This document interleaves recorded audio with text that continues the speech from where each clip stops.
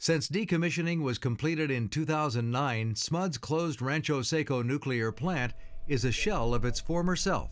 After an extended federally inspected decommissioning process that began in 1997, most of the shuttered plant consists of empty buildings, vacant lots, and concrete foundations. We can't fire up Rancho Seco because all of the infrastructure and equipment that was used to make electricity in the past has actually been removed as part of the decommissioning process. So all the buildings here are empty.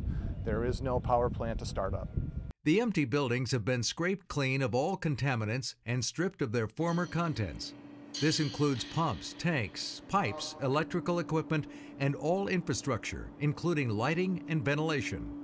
The 913 megawatt nuclear plant began producing electricity in April 1975, and it never had a major accident, let alone a core meltdown.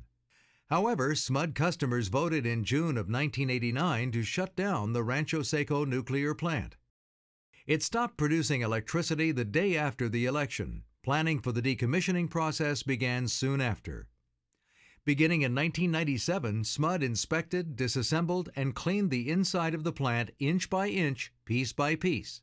Everything from the walls, machinery, furniture, fixtures, water, even the dirt was inspected for radiation and scrubbed clean. This included major components such as the reactor vessel itself, the main electrical generator, steam turbines, and tanks. This work was continually inspected and approved by the Nuclear Regulatory Commission.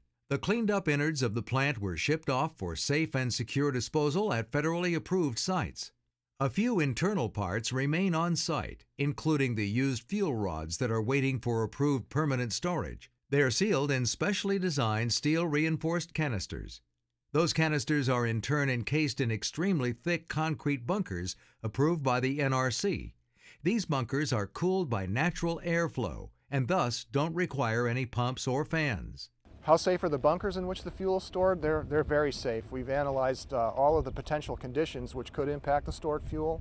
The bunkers, which are located on Rancho Seco property, are designed to withstand maximum expected seismic events.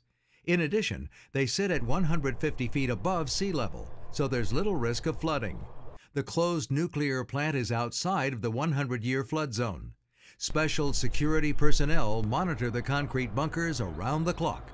For many Sacramento area residents, the only visible legacy of the nuclear plant is its iconic twin towers. The old cooling towers can be seen for miles in South Sacramento County. Pilots still use them as landmarks when flying near Sacramento. And while helpful to pilots and drivers looking for the Rancho Seco recreational area, SMUD actually left the Twin Towers up because tearing them down is cost prohibitive. They may, however, give people the wrong impression the plant is a working one when it is not. SMUD honored the will of the voters and closed the plant and moved on to find other sources of energy.